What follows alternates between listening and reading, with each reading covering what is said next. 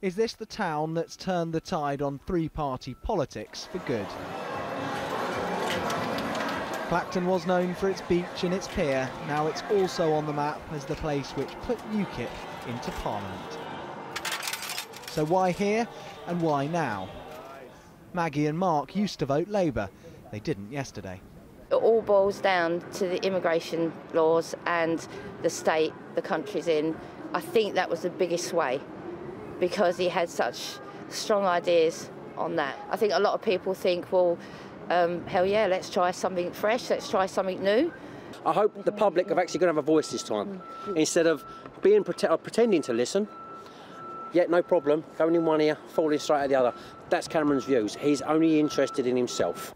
But with a general election coming in May, a vote yesterday can in theory be undone in seven months' time. So will people here stick with UKIP next year? If it was a general election, would you vote the same way? I like Douglas as a candidate, but I'd have to examine the policies because Europe is a big issue. Yeah, I would stick with UKIP, definitely, definitely. Yeah. Why? Because I believe in them. I think we need new blood. I believe in a lot of their policies. Not all of them, but, but you know, 90% of them. What if this town's swing to UKIP happened all over the UK? Would the converts on Clacton's golf course today trust Nigel in number 10?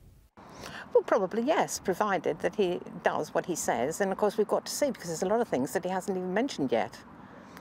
So you want a bit more detail? Oh, I do need more detail before uh, May, yes, absolutely. He's the normal man in the street. Can you see him outside number 10 for the photographers? What, with his cigarette and his pint of beer? Yeah, well, possibly, you know. People in Clacton on Sea told me they felt forgotten by Westminster. British politics will remember the choice they've made here for a very long time. Dominic Reynolds, 5 News in Clacton on Sea.